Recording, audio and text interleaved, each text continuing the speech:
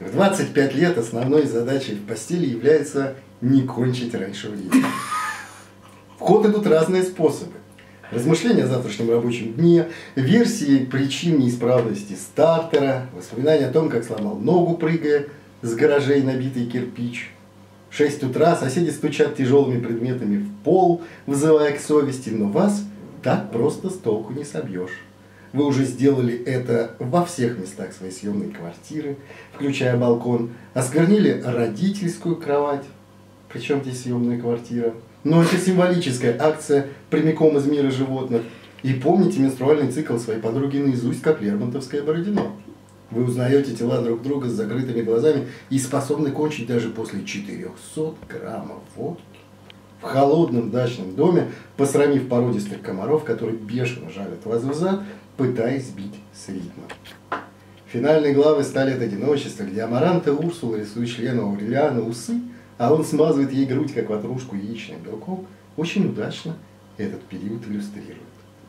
Новизна сладкого занятия такова, что оно не надоедает в течение года, а то и двух. Никогда более не будет такой остроты сексуальных ощущений и блеска собственного бессмертия, смешанного с наивной порочностью. Сам себе кажешься законченным развратником, будучи всего лишь обладателем почетной грамоты участнику соревнований.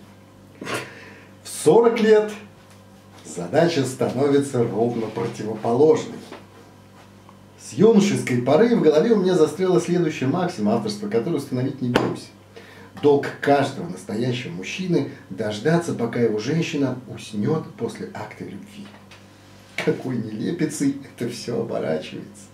Долгом настоящего мужчины зрелого возраста становится не дать партнерше заснуть до того, как он кончит. Потому что неделя у него выдалась тяжелой, на работе идиоты, а на дорогах нервные подонки. И тут уж у каждого свои способы воображения в помощь. Герой аниме, Джастин Тимберлейк, да что угодно. Анекдоты на эту тему вы и без меня знаете. Мой любимый греховодник Даг Стэнхоуп сказал как-то, что нам нужно, так это новое отверстие, старых уже недостаточно. Как это верно. Арсенал средств не сказать, чтобы слишком уж богат. Сперва совместный просмотр порнофильмов, потом картины собственного производства, потом секс-игрушки, иногда вещества. Меховые наручники, однажды задействованные, с ходом времени непременно разовьются во что-то большее, вроде стропонов и плеток. Ну а в самых ярких случаях в это горнило начинают бросать и других людей. Это, на мой взгляд, высший пилотаж, поскольку границы моей внутренней свободы так далеко не простираются. Не представляю, как партнеры договариваются друг с другом насчет свингерских сеансов. Ну, договариваются же. Брак, конечно, явление грандиозное и таинственное настолько, что множество писателей и режиссеров построили на нем целые карьеры, так и не исчерпав темы.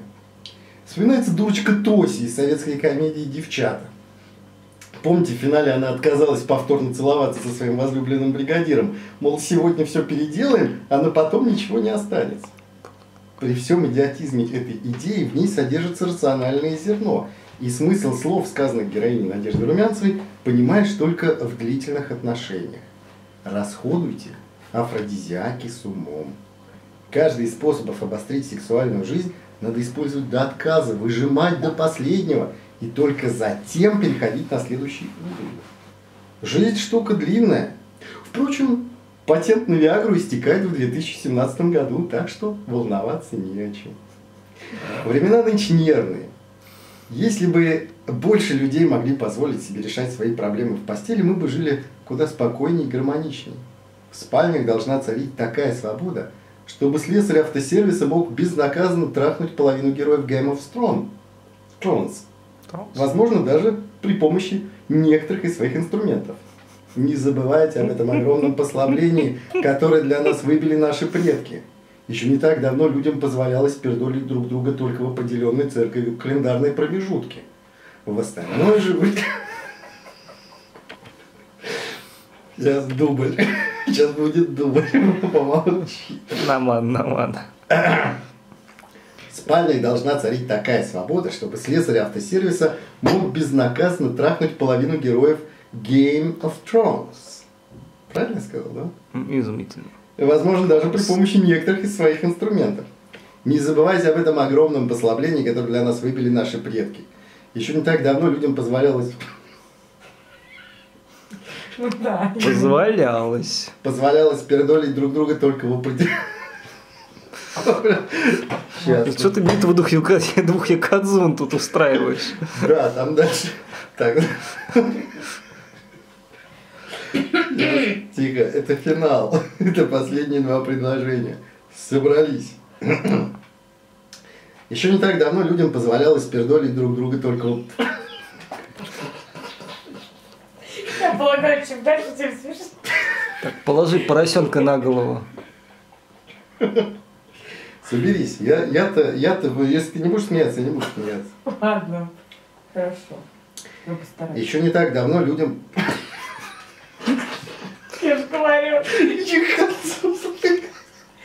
Пропусти это. Пердолить? Нет. Это ключевое слово в материале. Еще не так давно людям позволялось... Еще не так давно людям позволялось пердолить друг друга только в определенной церковью календарные промежутки. В остальное же время они утешались тем, что рвали друг друга лошадьми и сажали на кол.